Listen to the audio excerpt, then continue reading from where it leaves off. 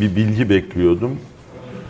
İzmir'de e, 7 yaşında bir kız çocuğuna 20 yaşlı 20'li yaşlarda bir Suriyeli tarafından tacizde bulunmuş. Durum farkına varılınca e, oradaki vatandaşlar müdahale etmişler ve çocuğu kurtarmışlar. Polis gözaltına almış fakat Suriyelinin ailesi ertesi gün gelmiş aileyi tehdit etmiş Türk aileyi şikayetinizi geri alın diye. Biz teyze üzerinden hadiselere vakıf olduk.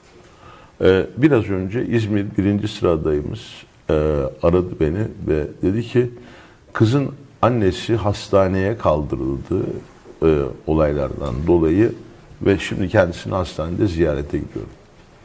Kendi ülkemizde 7 yaşındaki kızımızı bir tacizini yaşıyoruz. İki bunu şikayet ettiğimiz için bir Türk aile olarak tehditle karşı karşıya kalıyoruz. Ve anne de hastanelik oluyor. Size söz veriyoruz. Bütün sığınmacıları vatanlarına bir sene içinde yollayacağız. Yeter artık. Tamam. Yeter artık.